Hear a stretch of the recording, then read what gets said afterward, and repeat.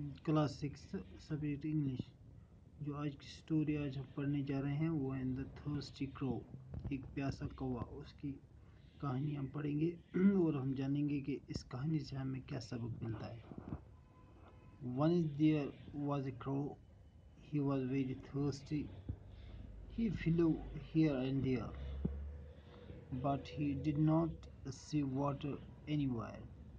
At last he reached a garden. He saw a jug of water.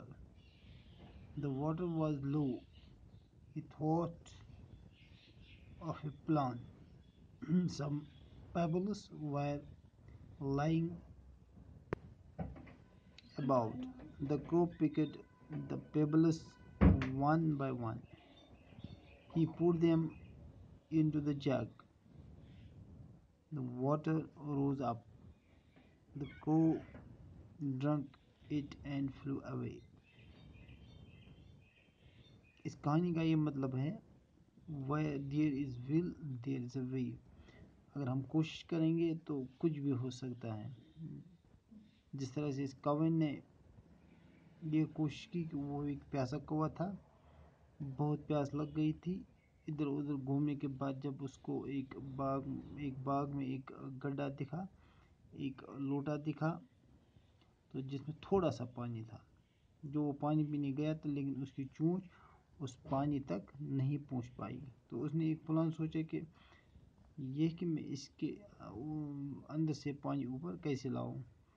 तो उसने मेहनत की। उसने छोटे छोटे पेबल्स छोटे छोटे कंकरियाँ चूँच में लाई और उसमें डाल दी।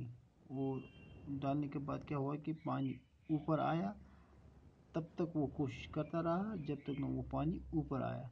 और जब पानी ऊपर आया तो उसने वो पानी पिया, उसकी प्यास बुझ गई और वो वहाँ से निकल गया। तो इस तरह से ये कहानी है कि हमें ये समझा समझा, इस कहानी से हमें ये समझ,